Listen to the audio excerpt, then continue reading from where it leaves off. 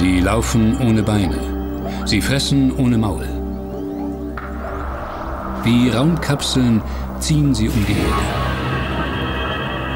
Als schleimige Monster gehen sie auf Beutezug.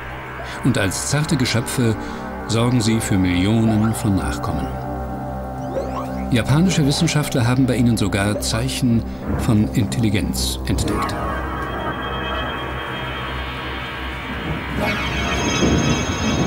Schleimpilze sind Wesen wie von einem anderen Stern. Fast unbemerkt haben sie unseren Planeten erobert.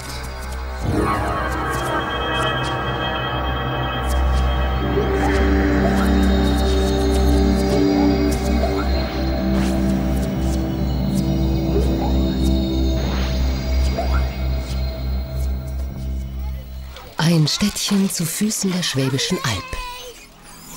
Freundlich, friedlich, sauber. Auch der Kindergarten. Doch plötzlich droht Unheil.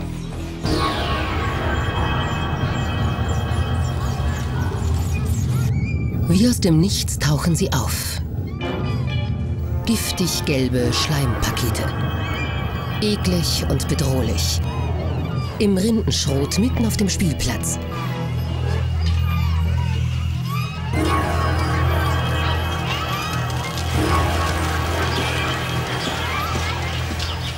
Weg damit.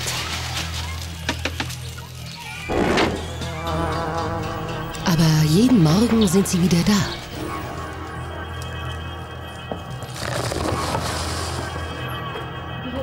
Empörung und Beschwerde bei der Gemeindeverwaltung. Diese gelbe Flecke, die es dort hat, das ist ja unglaublich. Sieht aus wie lebender Müll aus dem Weltraum. Das kann doch gefährlich sein. Das ist doch giftig. Dieses gelbe Zeug? Das ist eine Zumutung. Sie müssen denen schon helfen. Bis schließlich der ganze Rindenschrot abgetragen und abgefahren wird.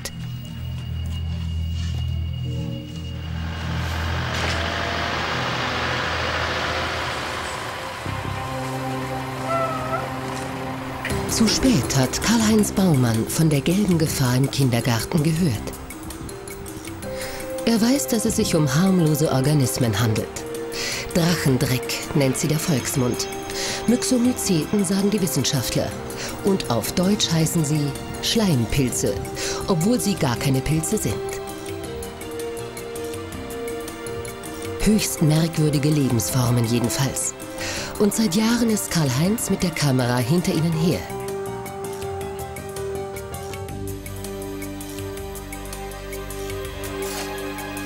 Erst im Film nämlich zeigen die seltsamen Wesen ihr wahres Wesen. Was unserem Auge verborgen bleibt, bringen die Filmbilder ans Licht.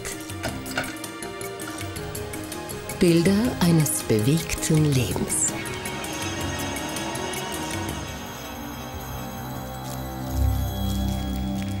Der Schleim marschiert über den Untergrund. Wenn auch weniger dramatisch, als es der Zeitraffer suggeriert.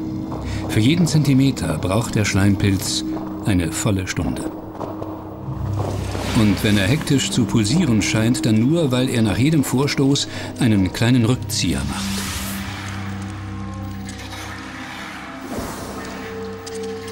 Schleimpilze brauchen Feuchtigkeit. Sobald es regnet, quellen sie aus Ritzen und Löchern und ziehen los auf Futtertour.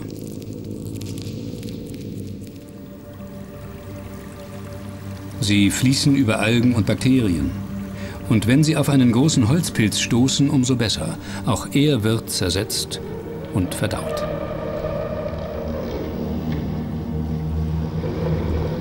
Wie von Geisterhand formen sich Adern, um die Nährstoffe im ganzen Körper zu verteilen.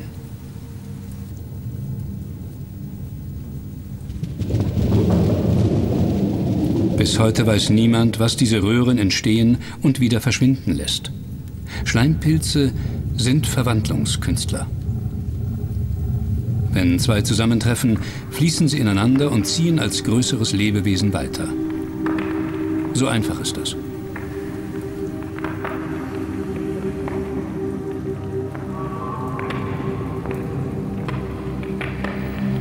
Nur bei Trockenheit wird alles anders. Dann müssen sie schleunigst zurück in den feuchten Untergrund. Andernfalls Andernfalls müssen sie Zuflucht nehmen zu einem letzten Verwandlungstrick. Unser Schleimpilz fährt die Pulsrate herunter bis zum Stillstand. Er wird fest und verfällt in Trockenstarre. Hart wie altes Brot kann er Monate überdauern. Und auch ein bisschen angeknabbert zu werden, macht ihm nichts. Schleimpilze sind anders. Schleimpilze fallen aus der Reihe aller sonstigen Kreaturen.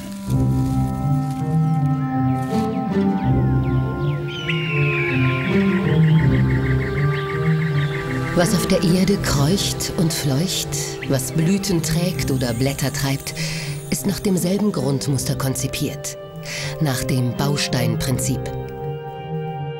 Millionen von Zellen arbeiten zusammen und bilden einen einzigen Organismus.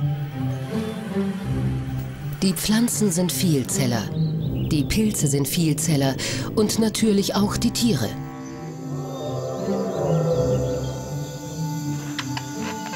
Sie alle werden und wachsen durch fortgesetzte Teilung einer Eizelle.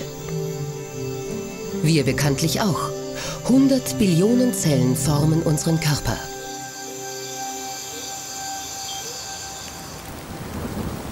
Zurück zu den Schleimpilzen. Bei ihnen gibt es nichts dergleichen. Ein Regenschauer bringt unseren Drachen Dreck zurück ins pulsierende Leben und er demonstriert ein völlig anderes Bauprinzip. Sein fließender und tastender Körper besteht aus einer einzigen Zelle.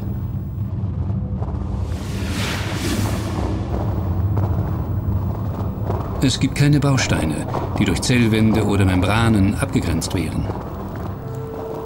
Was sich hier zielstrebig vorwärts schiebt, ist eine gigantische, wabernde Riesenzelle, größer als eine Hand.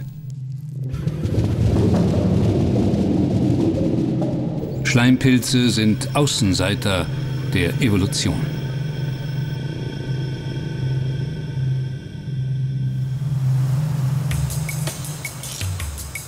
Verständlich, dass so mancher ein Auge auf sie wirft.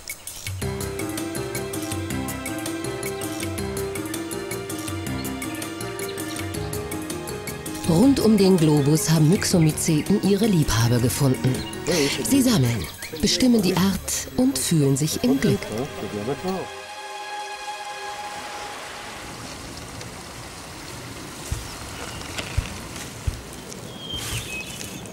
Karl-Heinz will mehr. Er will die Aktionen der Schleimpilze studieren und sie zu Hauptdarstellern seiner Filme machen. Wer weiß, welche neuen Stars er in diesem Holzklotz entdeckt.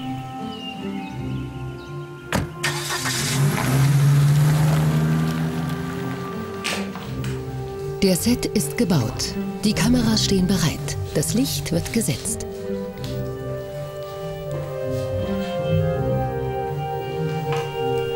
Fragt sich nur, wann sie erscheinen, die Akteure aus dem Holz. Kamera läuft.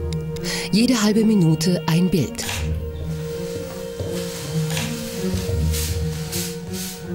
Das Ganze in wohlig feuchter Atmosphäre. Doch die Stars lassen auf sich warten. Eine gute Gelegenheit, sich etwas umzusehen in Karl-Heinz Wohnung.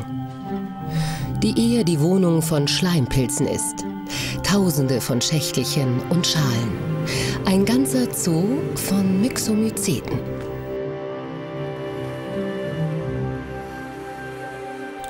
Doch jetzt kommt Leben in die Filmkulisse.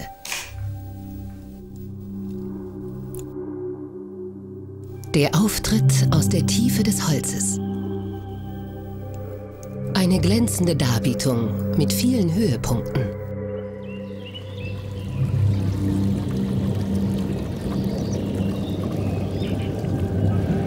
Wenn der Schleim aus dem Holz nach draußen drängt, dann nur um sich wieder einmal zu verwandeln. In merkwürdig poröse Kissen. Ihr Geheimnis werden sie noch verraten. Totes Holz jedenfalls ist ein gefundenes Fressen für Schleimpilze. Recycling im Wald.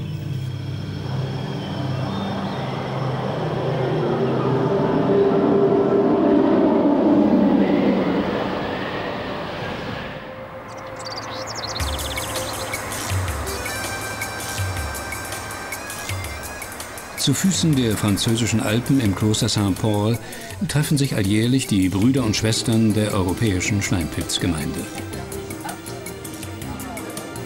Zum Auftakt großes Kino. Karl-Heinz zeigt seinen neuen Thriller Der Schleimpilz, der aus der Kälte kam.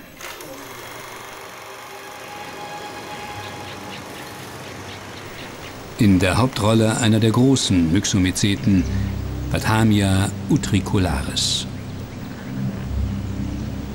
Noch hält er sich geschickt verborgen zwischen Schnee und Eis und gewöhnlichen Holzpilzen. Doch dann zieht er los. Sein Killerinstinkt bricht sich Bahn. Er organisiert den Nahrungstransport über Pipelines, die von der Fraßfront nach hinten führen.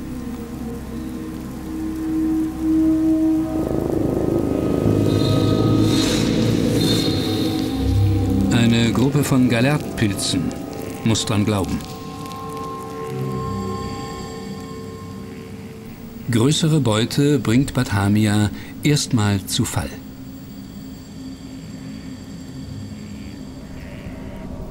Dann löst er das Pilzgewebe auf. Gelbstielige Muschelseitlinge. Essbar. Das Pilzgericht ist noch nicht verdaut, da erkunden schon Ausläufer das weitere Terrain. Ein Überhang. Zögernd, so scheint es, stülpt der Schleimpilz Probestränge in die Tiefe, um den Abgrund auszuloten, als wolle er testen, ob es hier weitergeht.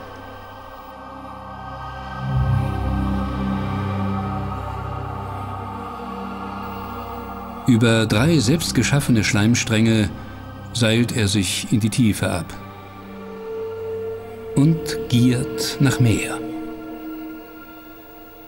Groß und stark geworden, erklimmt Bathamia ein ausgewachsenes Stockschwämmchen.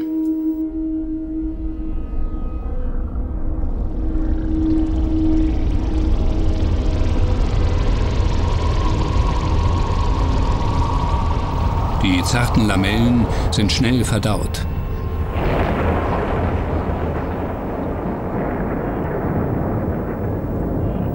Beim zähen Stiel dauert es etwas länger.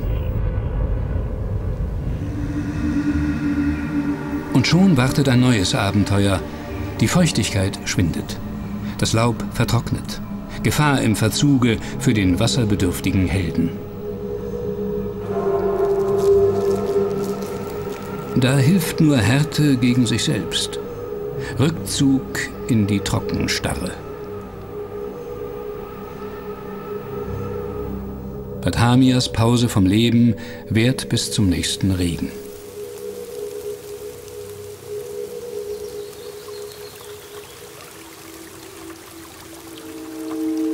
Dann ist die Trockenübung vorüber. Der Schleimpilz tankt Wasser aus der Umgebung kehrt zurück ins pulsierende Leben, um sich endlich seiner Fortpflanzung zu widmen. Höhepunkt aller Verwandlungskunst.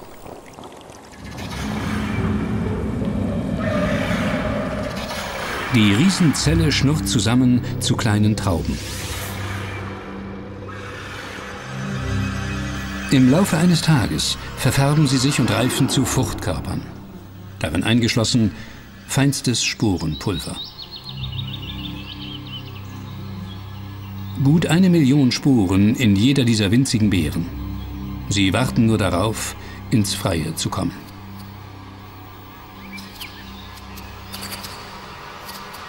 Jede Schleimpilzart überrascht mit anderen Fruchtkörpermodellen. Trichia modelliert gestielte Kügelchen.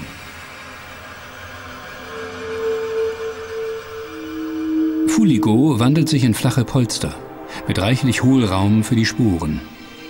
Das Geheimnis der porösen Kissen.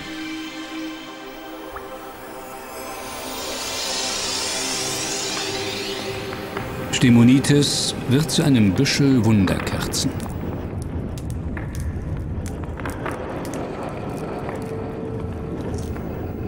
Und Lamproderma entwickelt Balance auf zarten Stielen. Der Schleim der Myxomyceten gerinnt zu eigenwilligen Kreationen.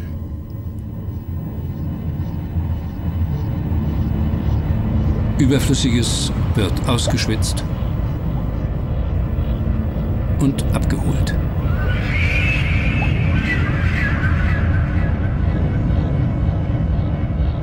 Die Spuren im Innern sind noch begehrter.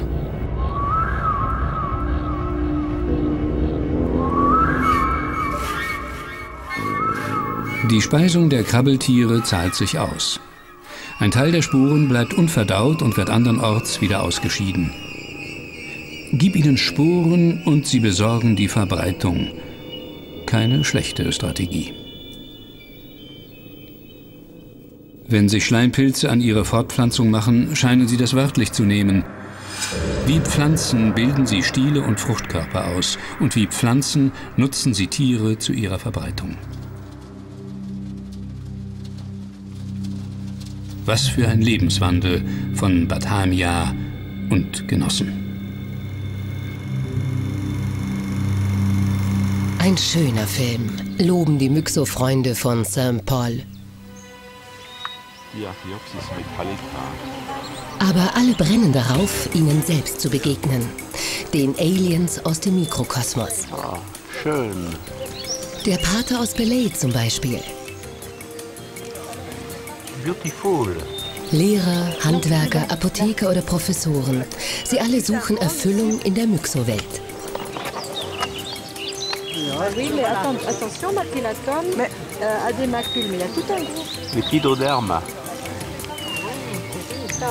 Den Kopf geneigt, die Knie gebeugt, so kommt man ihnen nahe.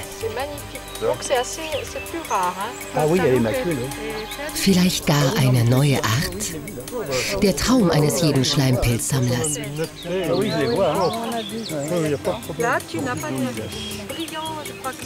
Jeder Fund ist eine Offenbarung. Und Marianne Mayer weiß sie zu deuten.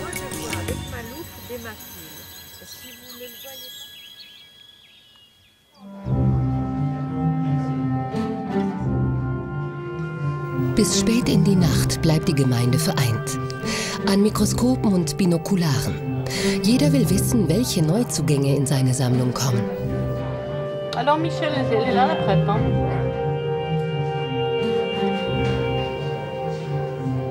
Solange Schleimpilze über den Boden kriechen, sind sie oft zum Verwechseln ähnlich. Erst der Bau der Fruchtkörper verrät, um welche der über 1000 Schleimpilzarten es sich handelt viele, viele Möglichkeiten. Für Marianne Mayer ist das eher ein Ansporn. Jedes Jahr startet sie in der Hauptstadt eine besondere Mission. Sie will die Bürger aufklären über den Reichtum der Architektur. Der Schleimpilzarchitektur versteht sich. Ihr Missionszelt entwickelt sich zum Renner. Die ganze Welt der Myxomyceten. In Bildern und Präparaten. Und mittendrin Marianne. Nehmen wir das für eine Schachtel? Ja, glaube ich. Ja. Sie demonstriert. Sie erklärt. Sie klärt auf und missioniert. Marianne wird zum Propheten der Myxomyceten. An ihren Früchten sollt ihr sie erkennen. So verkündet sie ihren Besuchern und fordert auf zum Blick durch die Lupe.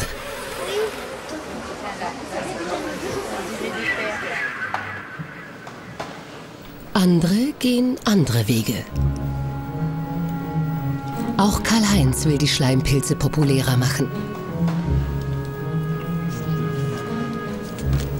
Mit drei aufwendigen Bildbänden möchte er sie unters Volk bringen.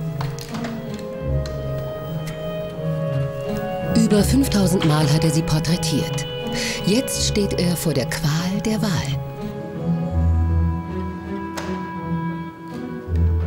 Kein Verleger wollte das Risiko solcher Bücher tragen. Karl-Heinz gründet einen eigenen Verlag. Was tut man nicht alles für die kleinen Schleimer mit den bunten Früchtchen?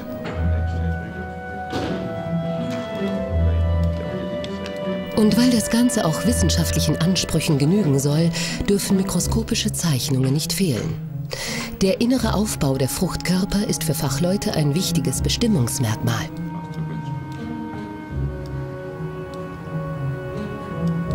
Wolfgang Nowotny aus Linz steuert hunderte solcher Zeichnungen bei. Den Text besorgt Hermann Neubert.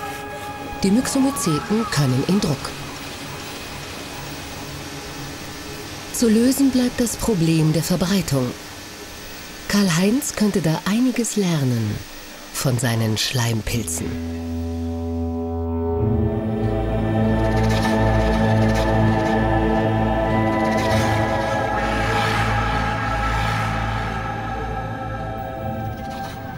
Zunächst einmal stellen sie eine Unzahl von Kopien her.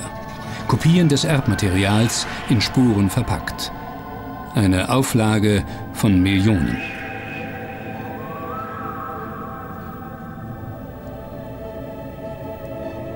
Die Lagerräume der Fruchtkörper sind bis an den Rand gefüllt. Die Frage ist, wer den Vertrieb übernimmt.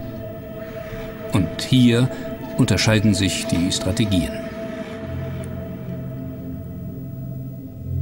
Die einen setzen auf die Muskelkraft von Beinchen. Wir kennen das schon. Die Sporen werden verschlungen und verschleppt. Sonderlich groß ist die Reichweite nicht. Andere setzen ganz auf die Spülkraft des Regens. Die Fruchtkörper platzen und das Sporenpulver wird davon geschwemmt.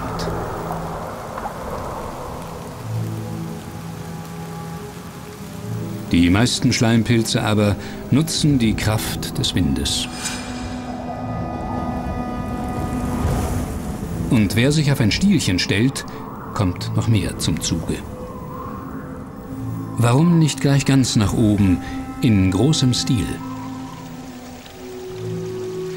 Der Schleimpilz Didymium geht auf die Anregung ein. Er besteigt die Pestwurz und benutzt sie als Lift nach oben.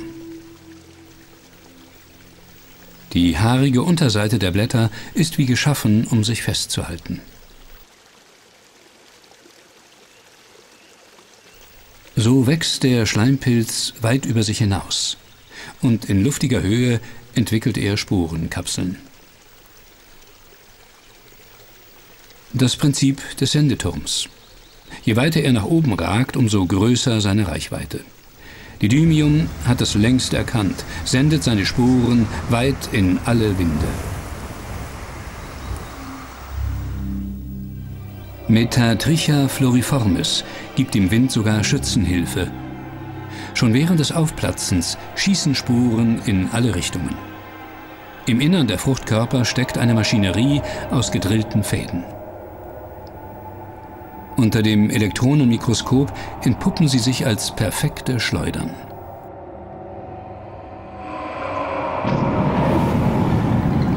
Sie katapultieren die Sporen in den Wind.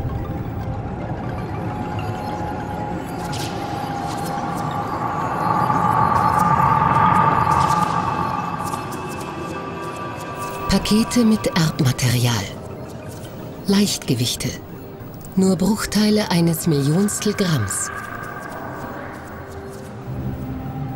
Aber widerstandsfähig verpackt für eine lange Reise durch die Luft. Die Sporenhülle mit Rillen und Riefen durchzogen, um dem Wind mehr Angriffsfläche zu bieten.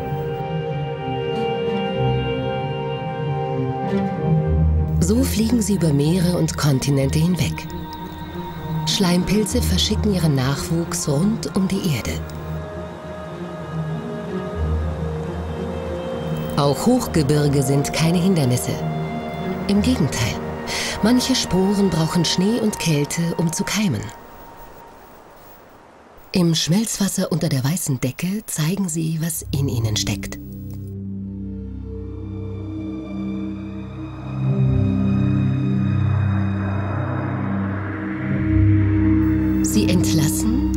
Zu glauben, ein quicklebendiges Tierchen. Wenn nötig, entwickelt es einen Zusatzantrieb. Dann schwimmt es mit Geißelschlägen durchs Wasser und sucht seinesgleichen. Haben sich zwei gefunden, dann vereinigen sie sich und auch ihr Erbmaterial. Ein mikroskopisch kleiner Schleimpilz entsteht. So winzig, dass er nur Bakterien fressen kann. Aber auch Kleinvieh nährt. Der Schleimpilz wächst und gedeiht, obwohl er dabei eine einzige Zelle bleibt. Wie es weitergeht, hat er uns längst gezeigt. Größere Jagdausflüge, größere Beute und schließlich wieder die Verwandlung in ein friedliches, pflanzenähnliches Wesen. Schleimpilze sind Pendlerexistenzen zwischen den großen Reichen des Lebens. Es lohnt sich einfach, ihnen nachzusteigen.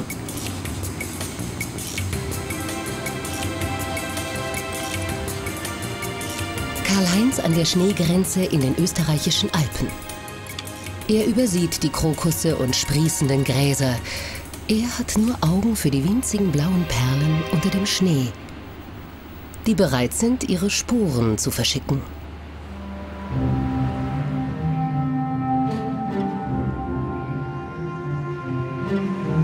Zum Beispiel in die Nebelwälder Kanadas.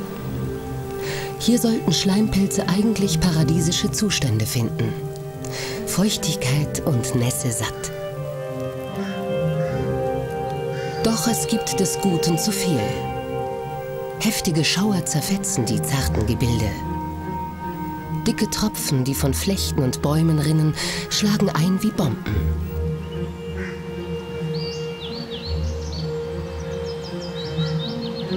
Und selbst an regenfreien Tagen droht Gefahr. Die kriechenden oder krabbelnden Tiere, die über den noch feuchten Waldboden laufen, sind harmlos. Sie ignorieren den Schleim und gehen darüber hinweg.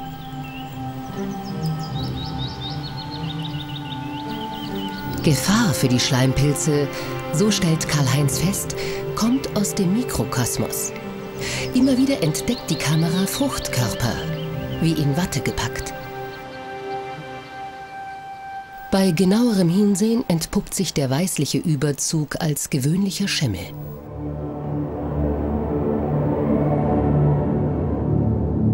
In der feuchten Luft des Nebelwaldes machen sich Schimmelpilze breit. Echte Pilze. Vielzellige Organismen also. Mit ihren Pilzfäden wachsen sie ins Innere der Fruchtkörper ein und zersetzen sie. Das Ende eines Myxomyceten. Wir sollten schleunigst den Nebelwald verlassen und anderen Sporen folgen.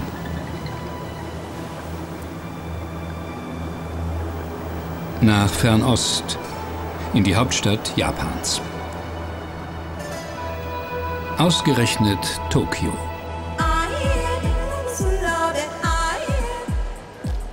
In dieser künstlichen Hochhauslandschaft mit ihrem hektischen Lebenstempo.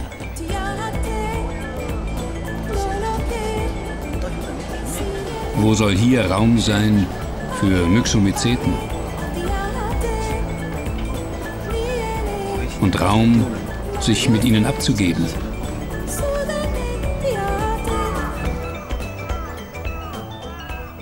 Doch Tokio hat auch Oasen. Mitten im Zentrum der kaiserliche Garten. Wer Ruhe sucht, kann sie hier finden und wer Schleimpilze sucht, womöglich auch. Kaiser Hirohito, studierter Biologe, hat hier im Jahre 1933 eine neue Art entdeckt, Hemitrichia imperialis.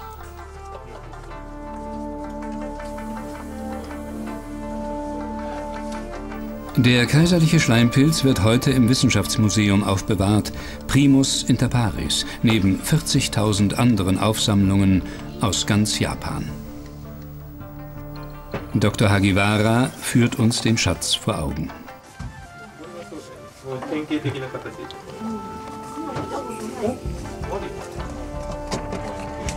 Hemitrichia imperialis, von herrschaftlicher Hand gesammelt.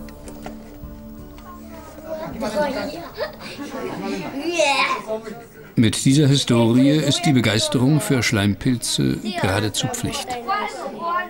Und der erste Schritt dorthin sei die Lust am Schleim, so Dr. Hagiwaras Philosophie.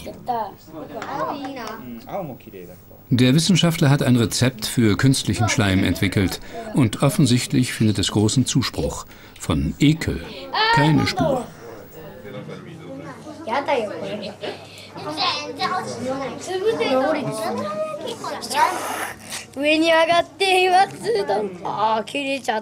Und wenn der Spaß am größten ist, kommt ein lebender Schleimpilz auf den Tisch. Erste Begegnung mit einem Myxomyceten. Und gleich so viel Vergnügen. Manchmal hält es ein Leben lang.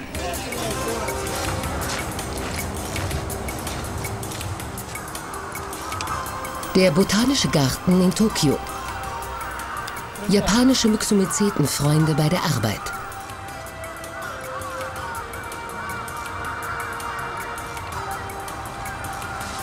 Ganz offensichtlich handelt es sich um dieselbe Spezies wie in Europa. Kräftige Schuhe, ausgebeulte Hosen, niemals eine Krawatte. Obligatorisch jedoch die Lupe, die wie ein Orden um den Hals getragen wird. Wie ihre Kollegen in Europa legen sie Hast und Hetze ab, wirken gelöst und doch ganz bei der Sache.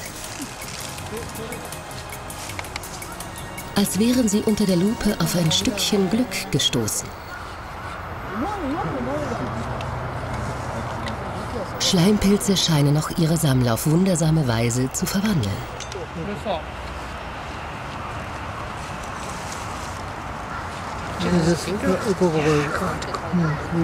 Jeder Schatz bekommt sein Schächtelchen. Handgefaltet im Land von Origami. Und gleich nach den Schleimpilzen kommen die Schleimpilzbücher. Die Neuerscheinung aus Deutschland hat längst ihre Liebhaber gefunden.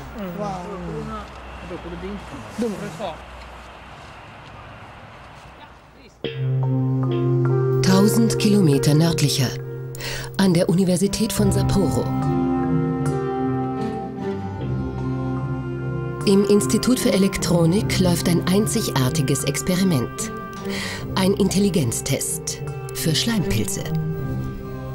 Kandidat ist Polycephalum. Zu Deutsch der Vielköpfige. Wie viel er im Kopf hat, wird sich zeigen. Vorgegeben ist ein Labyrinth. Mit zwei Punkten. A und B.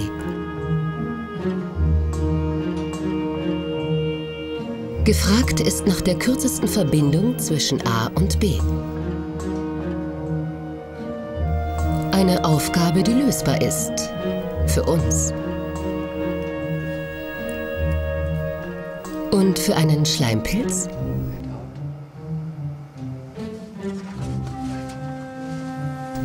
Toshiyuki Nakagaki holt seinen Schützling zum Test.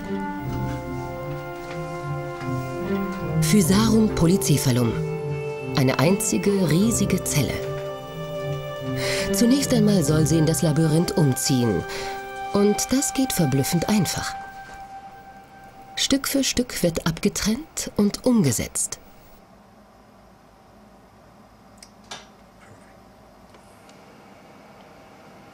Kein Vielzeller würde diese Prozedur überstehen, aber für Schleimpilze gelten andere Gesetze. Nakagakis Stückwerk ist völlig ausreichend.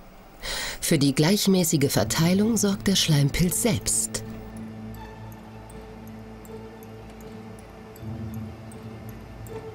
Die Portionen von Polycephalum vereinigen sich wieder und besetzen das ganze Labyrinth. Jetzt kann der eigentliche Test beginnen. Finde den kürzesten Weg von A nach B. Dazu wird in beiden Punkten ein Futterdepot eingerichtet. Mit Haferflocken. Polycephalums Leibgericht. Der Schleimpilz kann nicht widerstehen und macht sich über die Futterstellen her.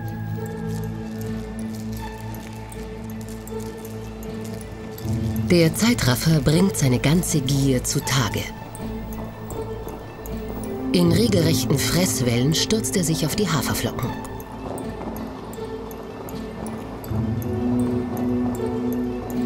Trotz allem aber hält er die Verbindung aufrecht zwischen den beiden Futterquellen. Über kräftige Adern, die das Labyrinth durchziehen. Manche Wege jedoch scheint er zu meiden. Aus Sackgassen zum Beispiel ziehen sich die Adern zurück, hinterlassen nichts als ihre Spuren. Auch Umwege werden geräumt. Und nach einigen Stunden gibt es nur noch eine Hauptschlagader. Ein Verbindungsstrang zwischen A und B. Ohne Zweifel der kürzeste Weg. Intelligenztest bestanden. Polycephalum indessen hat vollgefressen das Labyrinth verlassen und denkt an Nachkommenschaft. Auch keine dumme Idee.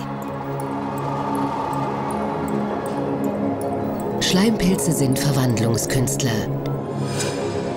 Mit Intelligenz. Und das ist noch nicht alles. Wir treten sie mit Füßen und trampeln auf ihnen herum.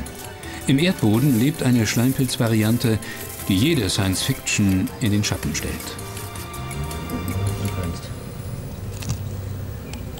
Ein, zwei Kaffeelöffel genügen und die Unterirdischen zeigen, was sie können.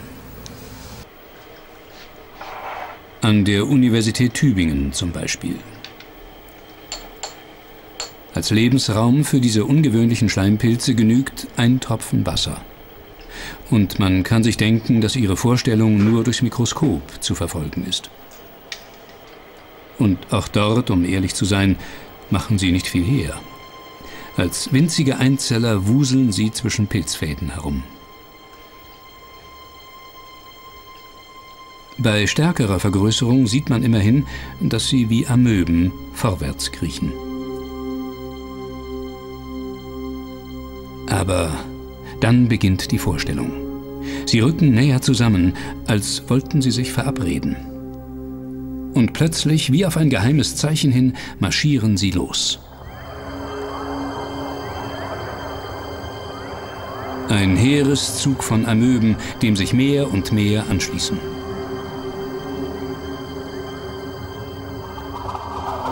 Von allen Seiten stürmen sie heran, tauchen ein in den großen Strom.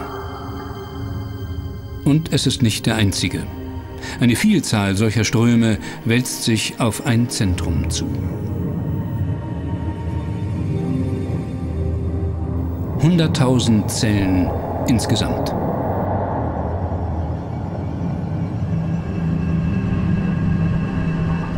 Der Vorgang wiederholt sich an mehreren Stellen und jedes Mal schließen sich die Amöben zusammen zu einem neuen, vergleichsweise riesigen Organismus.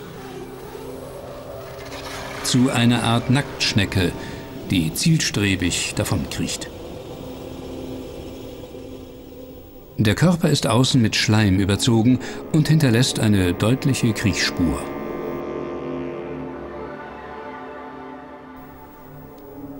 Im Innern haben 100.000 Amöben ihre Unabhängigkeit aufgegeben und synchronisieren sich so, dass der Schneckenkörper als Ganzes vorankriecht.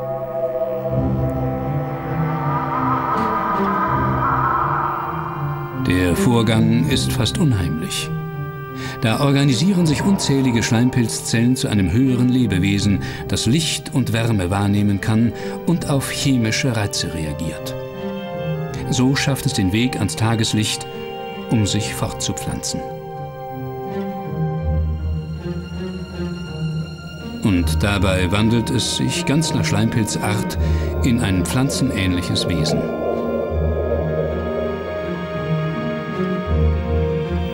Ein langer Stiel schiebt sich hoch und obendrauf eine Sporenkapsel. Eine zierliche Konstruktion, knapp zwei Millimeter hoch. Die Sporen werden mit dem Wind verschickt. Und manchmal mit der Schneckenpost.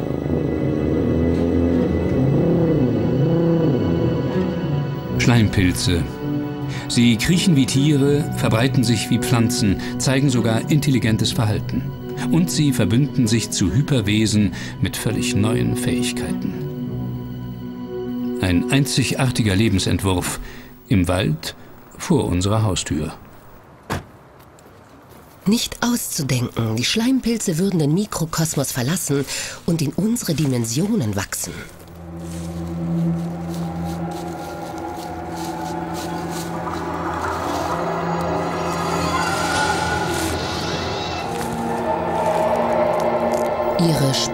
Spurenbehälter wären mit Händen zu greifen. Fruchtkörper so groß wie Backersteine.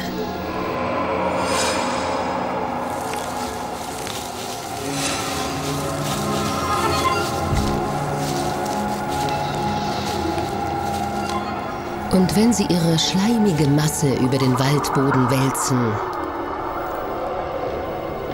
sollte man lieber woanders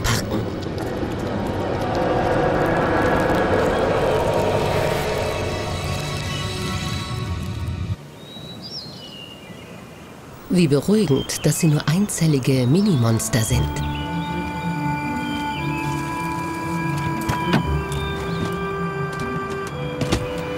Doch Vorsicht ist angebracht.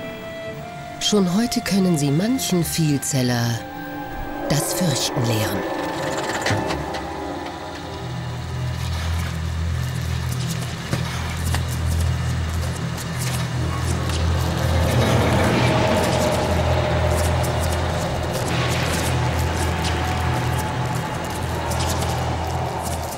Karl-Heinz weiß es schon lange. Schleimpilze sind überwältigend.